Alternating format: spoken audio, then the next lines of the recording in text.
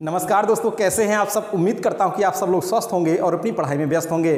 तो दोस्तों, आज हम बात करने वाले हैं कुछ हट करके, अर्थात कुछ मज़ेदार प्रश्न के बारे में, क्योंकि आज के ऐसे प्रश्न हैं जो कि सिविल सर्विसेज़ में पूछे जाते हैं। आप देख लीजिए कि कैसे कैसे साइंस के प्रश्न होते हैं, जो कि आई और पीसीएस की परीक्षाओं में पूछे जाते हैं। तो आज इस पर बात करने वाले हैं। देख लीजिए, पहला प्रश्न क्या कह रहा है दोस्त? पहले प्रश्न में देखिए, कह रहा है कि बहुचर्चित गार्ड पार्टिकल है। बहुचर्चित गार्ड पार्टिकल क्या है? ऐसा कह रहा है ईश्वरीय कण देखिए आज मानव इतना ज़्यादा खोज कर चुका है, सब कुछ खोज लिया है, लेकिन एक ऐसी आत्मा की खोज नहीं कर पाया है कि एक डेड बॉडी में उसे डाल दे तो डेड बॉडी फिर से ज़िंदा हो जाए। बस यही नहीं कर पाया है, बाकी तो सब कुछ हो गया है। नए नए प्रकार के जैसा चाह रहे हैं, वैसी शक्ल का इंसान भी पैदा कर दे रहा है। तो गार्ड पार्टिकल, ये कह रहा बहुचर्चित गार्ड पार्टिकल है क्या?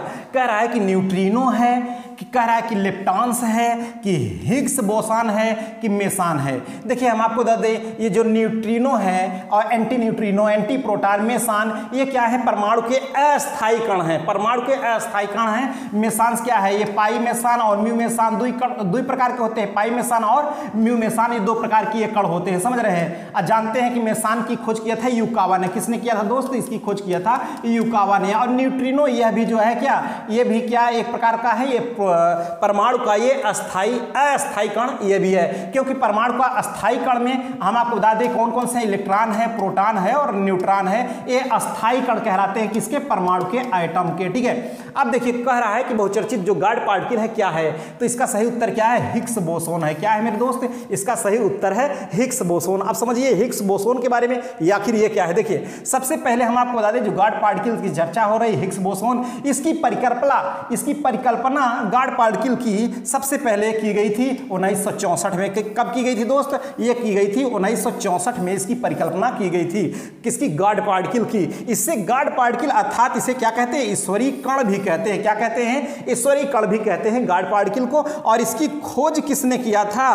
किसने इसको खोजा था दोस्त? इसकी खोज किया था पीटर हिग्स और फ्रांसवा एगलर्ट, ठीक है? पीटर हिक्स और फ्रांसवा एगलर्ट ने इसकी खोज किया था। और इस कारण से इन्हें, इन दोनों लोगों को इस कारण से कब? 2013 में नोबल पुरस्कार से सम्मानित किया गया था। किससे सम्मानित किया गया था दोस्त? नोबल पुरस्कार से सम्मानित किया गया था पीटर हिग्स और फ्रांसवा एगलर्ट को इनकी खोज के लिए। और इसका जो गार्ड पार्टिकल, इसका सत्यापन कब किया गया? इसका प्रायोगिक सत्यापन हुआ था चौदह मार्च दो हज़ार तेरह में। और इस सत्यापन के बाद ही इन लोगों को नोबल पुरस्कार से सम्मान सम्मानित किया गया था। ठीक है तो है ना कुछ मज़ेदार? चलिए अगला प्रश्न देखते हैं दोस्त कि अगला प्रश्न क्या कह रहा है? अगला प्रश्न देखिए, कह रहा है कि राष्ट्रीय भौतिकी प्रयोगशाला स्थिति है।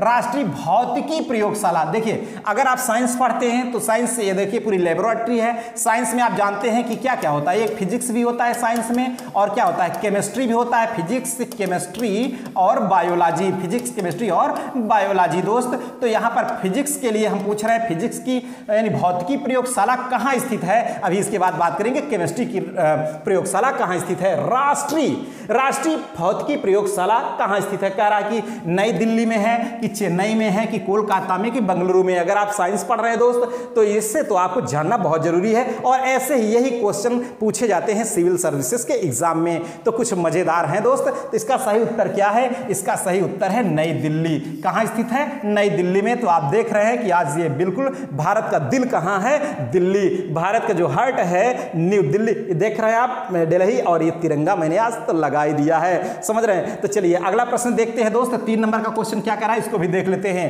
तीन नंबर में कह रहा है कि राष्ट्रीय रासायनिक प्रयोगशाला, अभी भौतिक प्रयोगशाला मैंने बताया, नई दिल्ली में है। अब कह रहा है कि राष्ट्रीय रासायनिक प्रयोगशाला कहाँ अवस्थित है? कह रहा है कि लखनऊ में है, कि नई दिल्ली में है, कि पुणे में है, कि हैदराबाद में है। कहाँ है? राष्ट्रीय रासायनिक प्रयोगशाला, कहाँ रासायनिक प्रयोगशाला कहाँ स्थित है दोस्त? तो यह स्थित है पुणे में। कहाँ स्थित है? पुणे में। और आप जो देख रहे हैं, बिल्कुल यही है। क्या रासायनिक, सॉरी, राष्ट्रीय, रासायनिक प्रयोगशाला ही है ये? आप देख रहे हैं, इसका बिल्कुल क्या लगा हुआ है? बिल्कुल लपलपाता हुआ फिगर भी लगा हुआ है। तो आप देख लीजिए, समझ लीजिए कि यही है पुणे में। आप पुणे में बिल्कुल आ चुके हैं, बैठ चुके हैं। और एक बात और बता दें, इसकी स्थापना कब हुई थी? इसकी स्थापना हुई थी 1950 में। कब हुई थी दोस्त? इसकी स्थापना हुई थी 1950 में। और एक संग संगठक प्रयोगशाला है। किसकी? सी एस आई आर का। किसका? सी एस आई आर की संगठन प्रयोगशाला है। समझ रहे चलिए अगले क्वेश्चन की बात करते हैं। क्वेश्चन नंबर चार क्या कह रहा है? इसको भी देख लेते हैं।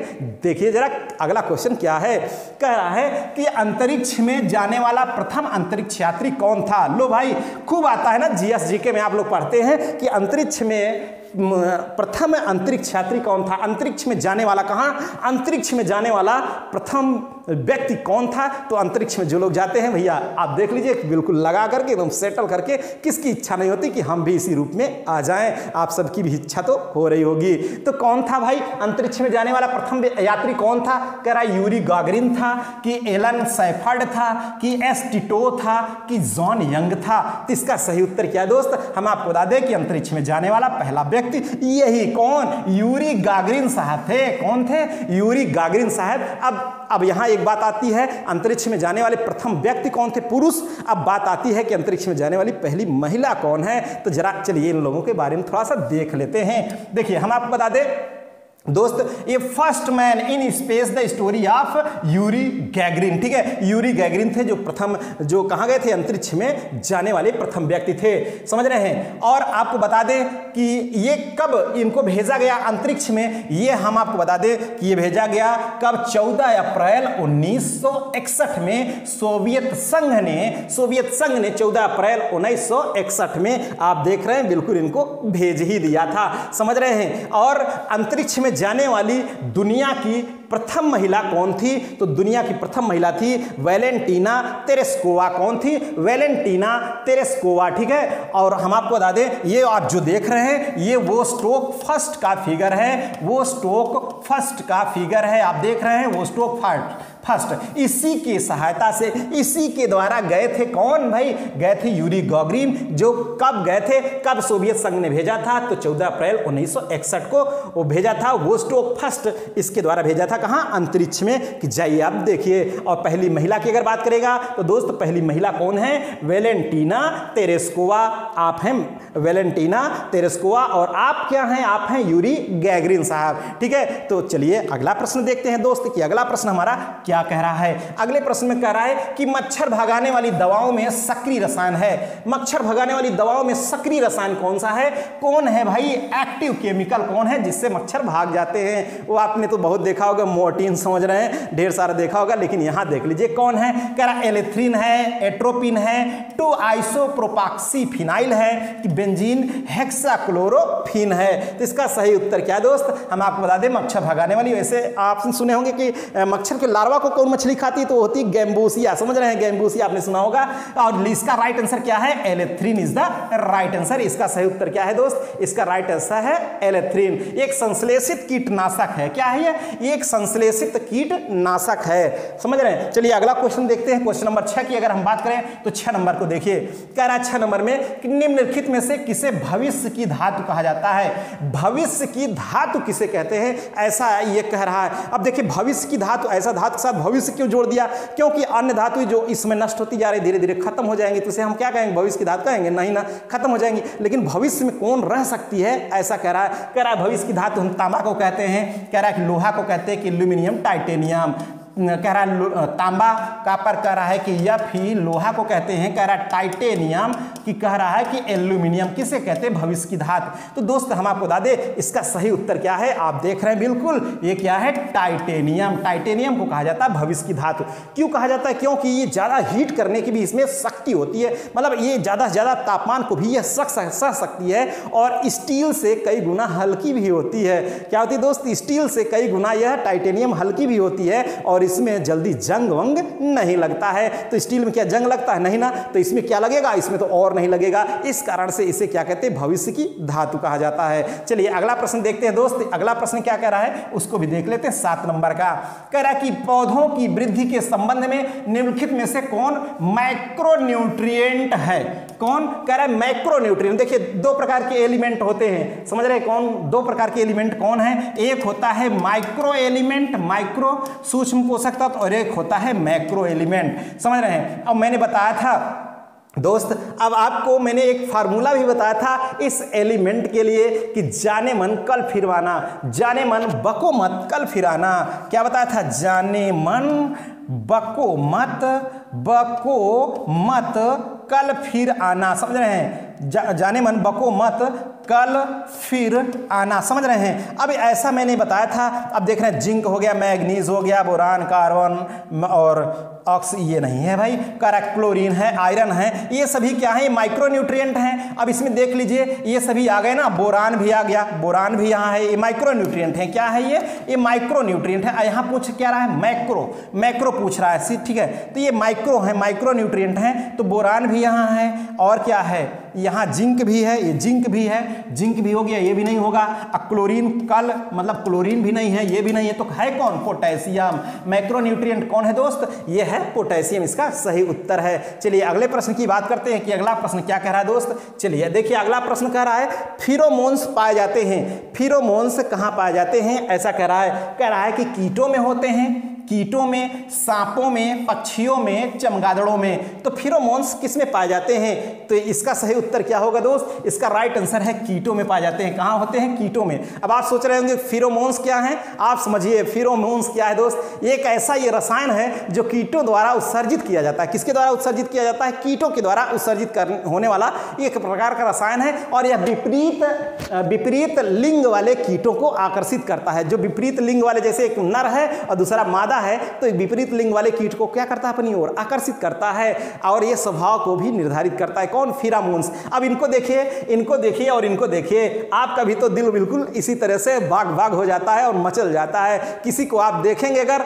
और किसी को अगर देखें तो आपका दिल भी डोलने लगता है। तो किसका? आपका दोस्त नहीं है दोस्त। हम आपको बता दें, ये किसका दोस्त है?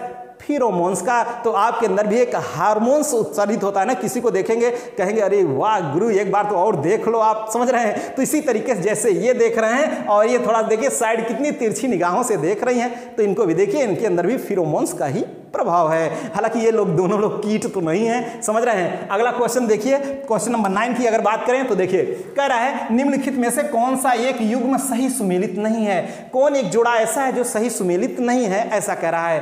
कह रहा है कि लैक्टोज कह रहा है, कार्बोनिक अम्ल, सोडा वाटर, ये सही सुमेलित है। फार्मिक अम्ल, लाल चीटी, चीटियाँ चलती तो फार्मिक अम्ल का स्राव करती, काटती हैं तो समझ रहे हैं। और टाटरिक अम्ल किसमें होता है? अंगूर के रस में। टाटरिक अम्ल ये सही, सभी सही है। लैक्टोज, देखिए, लैक्टोज कहाँ होता है? देखिए, यहाँ पर अब ये खट्टा दूध आ गया ना, क्या गया? खट्टा दूध में नहीं भाई, यहाँ खट्टे दूध में नहीं। समझ रहे क्योंकि लैक्टिक अम्ल होता है दूध में। क्या होता है? दूध में तो होता है लैक्टिक अम्ल होता है। और खट्टा दूध करा है। तो यह लैक्टिक अम्ल होता है या लैक्टोज नहीं होता दोस्त? तो यही गड़ा गड़बड़ है, अर्थात इसका सही उत्तर क्या हो जाएगा? ये इसका सही उत्तर हो जाएगा। ठीक है, ये सही सुमेलित नहीं है। चलिए, अगले प्रश्न की अगर हम बात करें, अगला प्रश्न क्या कर रहा है? इसको भी जरा ध्यान दीजिए, अगले प्रश्न की तरफ़। देखिए, कह रहा है, अंतरराष्ट्रीय योग दिवस कब मनाया जाता है? तो आप देख रहे हैं, आप भी योगा करिए। लेकिन हाँ आप योगा, कौन लोग योगा नहीं कर पाएँगे? जिनका दिल मचल जाएगा। किसी को देखे बहुत कच्चे दिल वाले हैं। जो कच्चे दिल वाले होंगे वो योग वोग नहीं कर पाएँगे। समझ रहे हैं? देखे तो आपका मनोबल एकदम ऊँची आ गया। तो समझ रहे हैं? तो योग वोग नहीं कर सकते। कहीं जिम में गए तो आप इसी तरीके से करेंगे तो क्या योग होंगे? दो, दो चार तो अब नहीं कहेंगे कुछ नहीं कहेंगे। तो अंतर्राष्ट्रीय योग दिवस कब मनाया जाता है? कह रहा है दो अप्रैल को कि इक्कीस जून को इक्कीस मई को तो पाँच जून को। तो इसका सही उत्तर क्या है दोस्त? योग दिवस कब मनाया जाता है? इसका सही उत्तर है हम आपको बता दें इक्कीस जून को। कब मनाया जाता है योग दिवस? इक्कीस जून को मनाया जाता है ठीक है? तो इसका सही उत्तर क्या है? इसका सही उत्तर है बी नंबर ठीक है? तो दोस्त, इस प्रकार का हमारे लेक्चर आपको कैसा लगा? आप हमारे कमेंट बॉक्स में कमेंट करके ज़रूर बताइएगा। आज के हमारे इस लेक्चर में बस यहीं तक, फिर मिलेंगे नेक्स्ट लेक्चर साथ। Okay thank you Jai Hind.